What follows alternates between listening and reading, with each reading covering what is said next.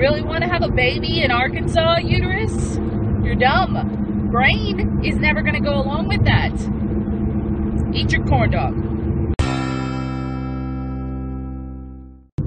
So I'm on my way home from the post office right now, and I got an alert, a tracking alert, that my 10,000 under $10,000 in debt reward package has well, it said it'd been delivered to the Mena post office. So I went and checked my mail and I asked them to see, and they said it should be in my box at home. I'm so excited. I want my little ring. Ring, ring.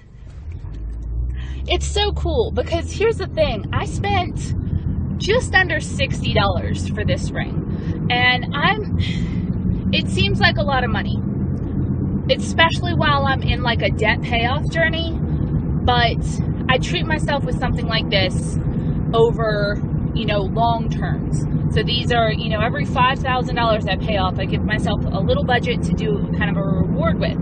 And every single time, almost, I get to one of these rewards, I end up being able to buy something really nice for myself. And the, it's, a tiny little piece of me in the back of my head is saying, You never got to do this before when you were spending so freely. Because I spent all my money on like useless little crap. I would never have bought myself a $60 ring before I started the Dave Ramsey plan. Not because I didn't just buy things superfluously, but because I never like saved up to purchase something nice. Instead, I just amassed ridiculous little things and I wasn't conscious of where my money was going. I certainly had more money to deal with since I wasn't paying on my debt, but it didn't feel like it. It felt like I was broke all the time. And now where I'm kind of making myself broke because I'm putting, you know, more than 50% of my income at debt, I'm actually able to get myself nicer things and be able to treat myself more nicely, even though I have a much smaller budget overall to deal with. I'm spending less money, but I don't feel as deprived as I did back when I didn't have a budget, have a budget, and I was spending just as soon as money got into my hand because I wasn't focusing on where the money was going. So I'm really excited about this ring. I would it, it seems like a ridiculously girly little thing, but every time I look at this ring, I think I'm going to think about how far I've come and how much of a lifestyle change I've been able to make. And I'm just really pumped about it. I think it's going to be pretty too, and sparkly and shiny. And I'm a girl, so that's nice.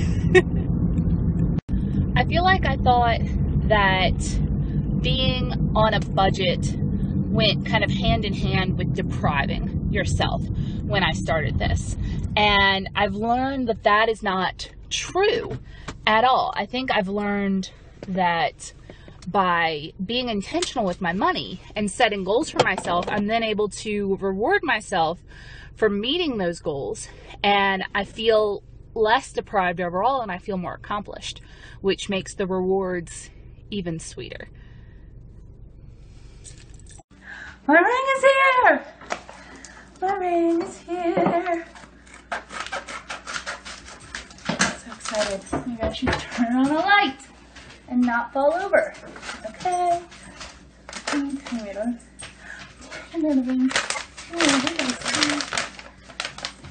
Thanks so much.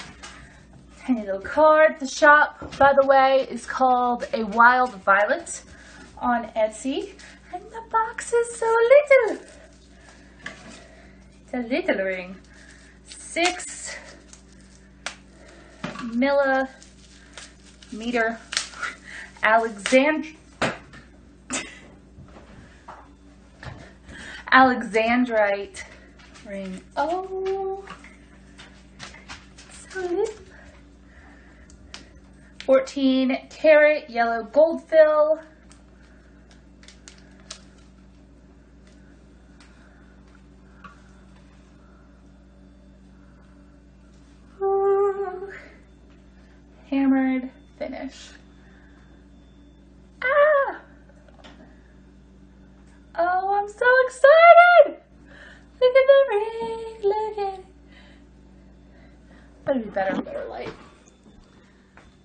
There we go. Just a, a little reminder of how far I've come and the future I'm working towards. I'm excited. I'm excited and I think it matches. Whew. Long ass day.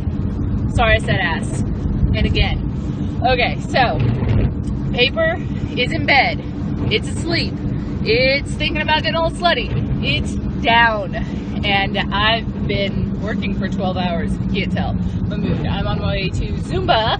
I actually I wore my workout clothes underneath my like big sweater. And so all I have to do is put on my sneakers and my workout pants when I get there. I am only going to be 15 minutes late, but the paper's to bed early, actually. it's a long day. I tried laying out the same article twice on the same page. There we go. Yeah. Um, however, I did get a free snack because I didn't get to eat lunch today. One of my coworkers went to KFC for lunch and got a taco bowl. And he eats like a bird. He only ate half of it. And he was like, you want to have the rest? So that might be gross, but it's the deliciousest kind of gross. Um, yeah.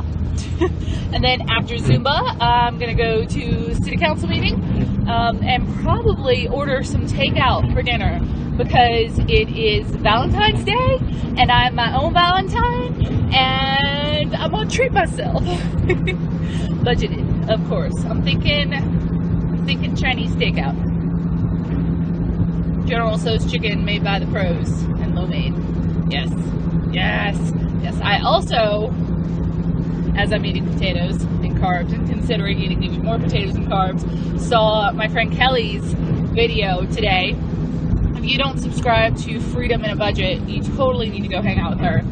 She does frugal living and is now doing weight loss.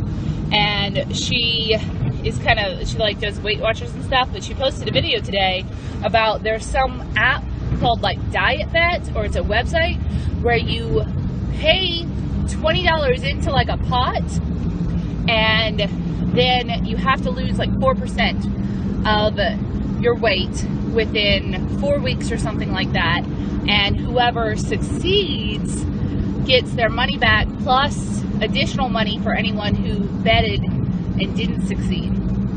And the best way to motivate me is to is to threaten my money. so I am considering joining up. I think I'm going to do that. I'll leave a link to her video below because that sounds like fun. They had a weight loss challenge at my office last year, and that was really motivating to me. And I won, even though most of the people who entered didn't actually pay their money. So instead of getting like 70 or 80 dollars that I was supposed to get, I got 35. no. If you sign up for something like that, you pay the money. I don't care. You pay the money. That's that's not cool. So I hope hmm. all of y'all are having an absolutely wonderful Valentine's Day. I am going to enjoy it once I get off of I don't know how many hours that is of work. This is kind of like my dinner break, I guess. And I'm then to spend the evening with Rory. I haven't decided what we're to watch yet. I was thinking of maybe trying to find that Sex and the City episode that I was talking about where Sam buys herself a bling ring. Um, because that sounds good to me to consume television wise. And then I'm to sleep a lot. I'm to sleep a lot, a lot, a lot And then I'm gonna sleep some more. I'm probably not actually hungry. I'm probably just cramping and wanting carbs. Um, and I'm gonna be late for Zumba. But Sonic has 50 cent corn dogs today. So I'm gonna eat one of those. Just one. But I'm gonna eat it. And then I'm gonna have to go jump around for an hour and a half. So this is probably a very bad series of decisions I'm making. But, I mean, 50 cent corn dog. I can't remember the last time I had a corn dog. It sounds delicious. I mean, meat in deep dough batter. This is this is my period talking. This is definitely my period talking. This is definitely my period talking, but this is the best 50 cent corn dog ever. Why did why did I stop eating corn dogs? Probably because they're bad for me. But my uterus is mad at me that I won't let it have a baby and it'll be sated with carbs. Oh, so good. So hot.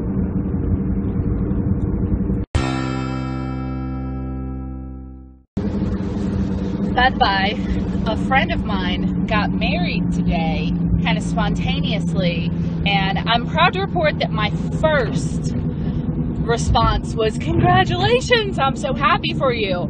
But I'm a little embarrassed to admit that probably five, ten minutes later, the thought crossed my mind of, All your debt is theirs now, and all their debt is yours. So, yeah. if you want to know where my head is at, um, it's in a super romantic place here on Valentine's Day. Um, and exactly how far, like, this whole financial thing is embedded in me now that like instead of just being like marriage yeah i'm like money money and marriage what what i'm scared ah. um and i gotta admit i'm like would i marry someone with debt I, I would. I would marry someone with debt and I would do this whole second thing again. Hopefully, they'd be worth it. But they would have to have the same kind of mental thought process about debt as I would. I get asked this a lot of would you marry somebody with debt? And now there ain't no ring on this finger and I nobody's offering, okay? But if they were to, I would be okay with them having debt as long as they had the same attitude about it as I do, as in, I don't want to have debt and they're trying to get out of it. So, because I'm not marrying someone who's okay with debt. That's, whew, no, no. I've heard too many calls on the Dave Ramsey show about couples that don't agree on money. No, thanks. Yep, bye. Occasionally I get asked, like, Sarah, why don't you date or talk about dating? And my answer is generally like, there are no cute men in Mena. They all got married at 17. Um, but I just, there are apparently cute men in Arkansas because I just saw two. I was leaving this district basketball game that I had to go cover, and they were crossing as I was trying to drive out, and like they, and I saw them and I appreciated them, and then they looked at me. Unfortunately, as they did that, I, my teeth got like stuck in this apple and there was like a piece coming off that I was trying to save and well that's why I don't date. Ah, see?